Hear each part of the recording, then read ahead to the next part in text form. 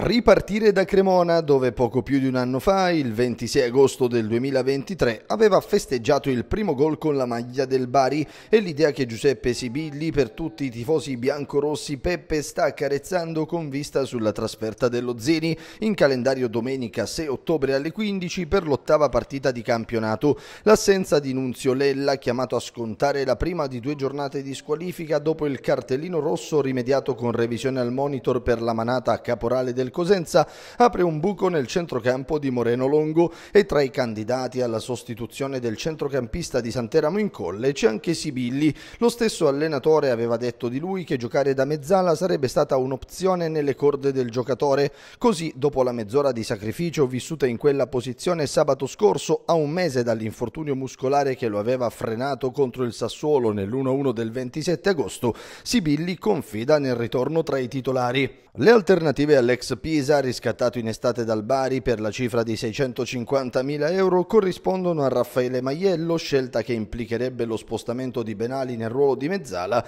e a Colisaco, opzione che invece, alla pari del possibile accentramento di Oliveri con impiego di Favasuli a destra, permetterebbe a Benali e Maita di non modificare caselle di partenza nel 3-5-1-1 che il Bari ha sposato da qualche settimana. Sibilli non è Lella, certo, ne conseguirebbe quindi un Bari più manovriero con meno centimetri e profondità, ma con maggiore qualità negli ultimi 25 metri, caratteristica che l'anno scorso ha consentito al Ventotene Campano di segnare ben 12 volte, dati ai quali il Bari si era aggrappato nella corsa salvezza. Quella dozzina di gioie era valsa il record personale tra i pro, tanto che vederlo oggi ancora secco e fuori dalla cooperativa del gol biancorossa fa rumore. Sibilli ha festeggiato con una capriola la vittoria di Frosinone osservata dalla panchina e ha testato il motore da subentrante con il Cosenza, manifestando una condizione ancora da perfezionare. Nel mezzo c'è stata una settimana di lavoro utile per crescere nello stato di forma e assecondare al meglio le richieste di Longo.